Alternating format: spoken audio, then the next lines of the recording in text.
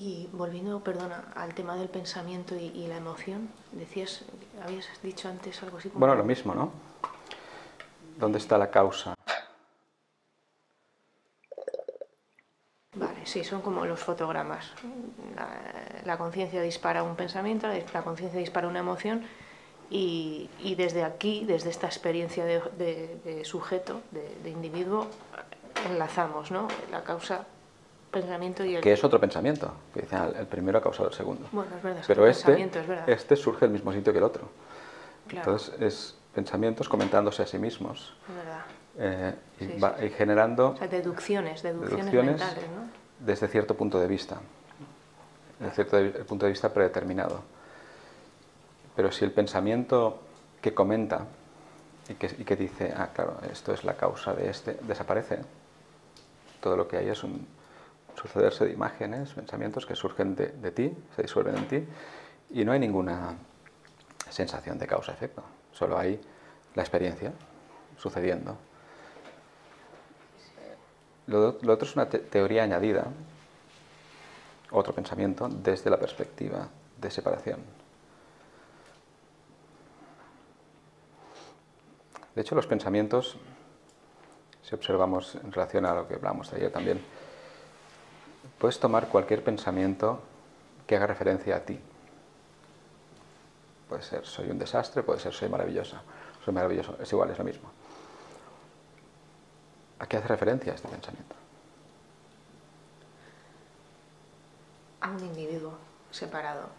Parece, parece que hay- hace referencia a alguien, ¿no? Sí, Claro, pero más allá de lo que parece y de lo que asumes, en cualquier momento podemos parar, a- voy a mirar realmente dónde está este, que es un desastre. eso es lo que íbamos, lo que te pedí Sí, ayer, exacto, que también exacto. Albert quería y le apetecía. Y Vamos eso. a mirar, Sí.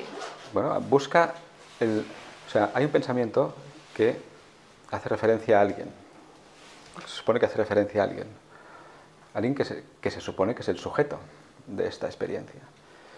Bueno, eh, vamos a buscarlo. ¿Dónde está el, este alguien? O sea, soy maravilloso, soy un desastre. ¿A quién hace referencia? Porque si te digo, mm, aquí hay un trípode con cosas negras, eh, es un pensamiento que hace referencia a algo que está aquí, concreto. Bueno, perfecto. Entonces, si te digo, eres un desastre. Si tú te dices, eres un desastre, eres, no, no, eres estupenda. ¿Dónde está ese, el objeto al que eso hace referencia? En la experiencia. ¿Dónde está ese objeto? Eres esto, eres aquello. ¿Dónde está esta, este elemento que tiene la cualidad de ser un desastre o la cualidad de ser estupendo? No está. O como mucho lo que vas a encontrar es otro pensamiento. Vale, a ver, yo diría yo, para hacerlo así justo Sí. en, en el momento, ¿no? Sí. Dices, ¿quién es ese o esa que dice que es un desastre, ¿no? ¿A quién, Bueno, hace, a quién ¿a- hace a referencia? quién hace referencia? ¿A quién hace referencia? A mí. Yo te digo a mí.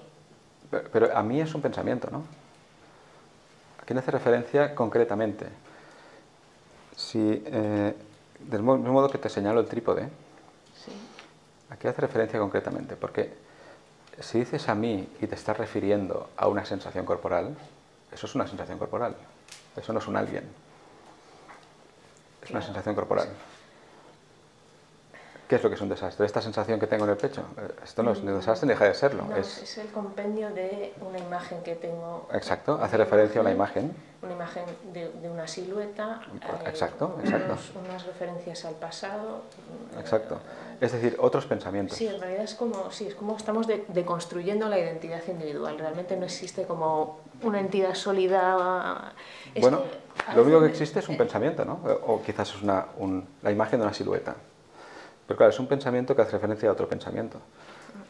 Que hace referencia a otro pensamiento. Y, y todos son pensamientos haciendo referencia entre ellos. O más precisamente, siempre hay un pensamiento haciendo referencia a otro pensamiento. Pero si realmente dices, no, no, no quiero más pensamientos, eh, ¿dónde está el sujeto? Eh, alrededor del cual, que se supone que estos pensamientos describen. ¿Dónde está en tu experiencia? Eh,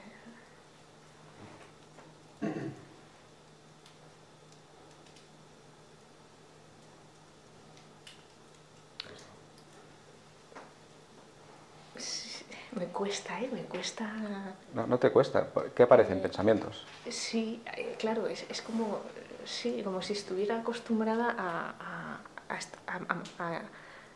con un atillo atarlo todo en, una, en una, entidad única, ¿no? Como agruparlo todo en una entidad. Claro, pero es, ese atillo es un pensamiento que engloba varios pensamientos, una sensación corporal, un recuerdo, que además es cambiante a pesar de que parezca sólido y que aparece y desaparece. Sí, sí, sí, sí. Entonces... Yo creo que esto es que es fundamental, ¿eh? Bueno, claro, es fundamental. Y es, justamente es, o sea... Porque viviendo, voy vivo suponiendo lo que soy, suponiendo. Supongo que soy este atillo de pensamientos y tal, ¿no? debo ser eso. Y si hay un pensamiento que dice, eres un desastre, pues se debe referir a eso, que debe ser lo que yo soy.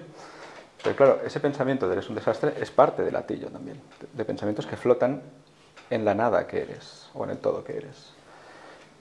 Y si pensamos en los niños, por ejemplo, em, ¿cómo se construye esto? Eh, un niño de dos años, tres años, dices, oye, esto lo, haces, lo has hecho mal, no, no, está, no está bien. Desde el punto de vista del niño es a quién le están hablando. ¿Quién, quién, quién, está haciendo algo? Porque no hay nadie haciendo nada, solo hay un suceder. No hay un, un núcleo psicológico que suponga ser alguien que hace cosas, y todavía menos que las hace bien o mal, simplemente hay un hacer y un fluir, porque ese atillo no se ha construido. Pero claro, van oyendo, no, esto lo has hecho bien, esto lo has hecho mal, entonces es como, bueno, si me están diciendo otro lado este, esto debe haber alguien aquí, a quien hacen referencia estos pensamientos. Si debe haber alguien, pues debo ser yo. ¿no? O sea, entonces empieza a crear esta, esta como otra identidad falsa, pero claro, si todo el mundo me está hablando diciéndome que hago bien, que hago mal, que tengo que hacer eso, que, me aplaude, no me aplaude, pues debo ser este que hablan de, que, hace cosas. Entonces empieza a crear este, este atillo cuando antes lo único que había y lo único que hay, de hecho, siempre es un hacer, un continuo hacer, eh, sin un fluir de sensaciones, experiencias, de exploración que están sucediendo en ti, ¿no? en, la conciencia que eres ahora. Entonces, parece que se genera este, este alter ego, este otro, del cual están hablando todos todo el rato, que, a ver no está, pero, pero claro, acaba estando, acaba estando porque todo el rato estamos hablando de él o de ella. Entonces, eh, un punto que asumes que soy esto, de lo que hablan y ya de lo que me hablo yo mismo, ¿no? Porque, uy, esto lo he hecho bien, esto lo he hecho mal. Pero claro, si paras a mirar estos pensamientos, cada uno de ellos, no importa, ves que no hacen referencia a nadie. Solo se hacen referencia entre ellos. Un pensamiento hace referencia a un recuerdo, el recuerdo hace referencia a una idea de mí, que hace referencia a otro pensamiento. Y cuando dices, bueno, pero en el centro de todo esto, ¿quién hay? no hay nadie. No hay nadie es, es toda una nube de pensamientos refiriéndose entre ellos, sensaciones refiriéndose entre ellas, y el verdadero sujeto, lo que sí hay, eres tú, que es lo que es consciente de todo esto, pretendiendo a veces ser esto, porque es lo que has asumido que eres, ¿no? Entonces, bueno, debo ser yo. Por eso el asunto, en cualquier momento paras, vamos a parar y mirar, ¿no? ¿A quién, ¿A quién hace referencia este pensamiento? Solo van a aparecer otros pensamientos, o sensaciones, o eh, recuerdos, imágenes. ¿no? Pero ¿a quién hace referencia todo esto? Porque todo esto es pasajero, ¿no? Se supone que hay aquí alguien en el centro, alguien que es continuo, eh, que, que está siendo descrito por todo esto. Bueno, pues no está. Nunca ha estado. Es el fantasma este que llamamos ego que llamamos eh, falso yo.